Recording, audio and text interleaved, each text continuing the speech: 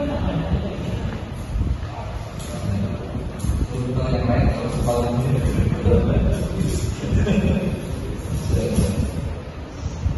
sesi kita hari ini terkait uh, pasal 143 ayat 2b terkait masalah formil. Di sini jaksa kami melihat bahwa jaksa penuntut umum tidak cermat, tidak lengkap dan uh, tidak lengkap.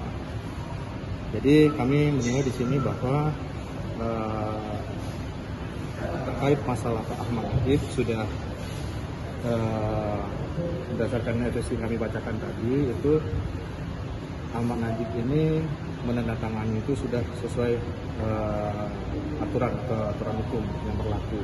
Jadi unsur melawan hukum di sini Ahmad Najib sudah kami menurut kami tidak tepat seperti itu. Oke, berarti artinya Pak Najib ini menandatangani atas perintah Pak Gubernur saat itu ya, Kak? Uh, berdasarkan perintah gubernur, berdasarkan ada SK, SK yang mengatur tentang hal itu. Oke, Kak, mungkin ada yang mau kita tambahkan Kak terkait resepsi ini?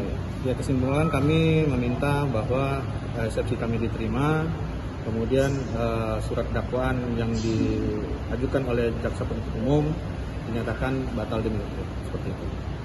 Terima kasih. Uh, kerugian negara itu tidak berwenang melakukan audit keuangan negara karena uh, auditor harus uh, nyata dan pasti dan dan kedua ya lembaga yang berwenang untuk melakukan auditor ada BPK, ada BPKT, Inspektorat Provinsi. Nah, duduknya apa namanya uh, untuk Stadulaku itu tidak masuk dalam aturan perundang-undangan, ya. tidak masuk di dalam oh, lembaga yang berwenang melakukan audit kerugian negara dalam uh, dalam aturan Badan Pemeriksa Keuangan, peraturan Badan Pemeriksa Keuangan nomor 1 2012 bahwa kantor akuntan akuntan publik boleh mengaudit keuangan negara, tetapi ya audit tersebut punyanya uh, BPK. Sudah ditunjuk ya? Sudah ditunjuk BPK.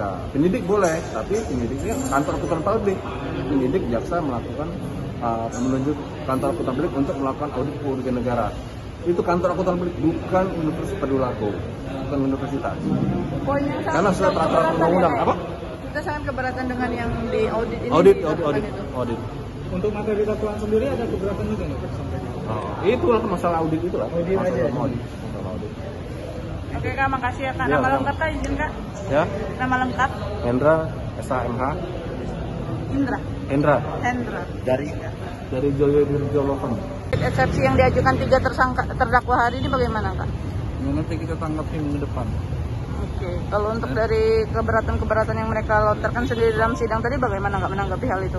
ya, nanti kita tanggapi minggu depan kita jawab semua keberatan mereka Untuk fakta persidangan Kak, apa yang didapatkan Kak? belum lah kan belum masuk pembuktian ini masih eksepsi dakwaan Pak masih masih masih yang lama Pak. Dia telah eh, audit itu dilakukan oleh Universitas Padula- Padulaku. Tanggapan kita sedikit ya.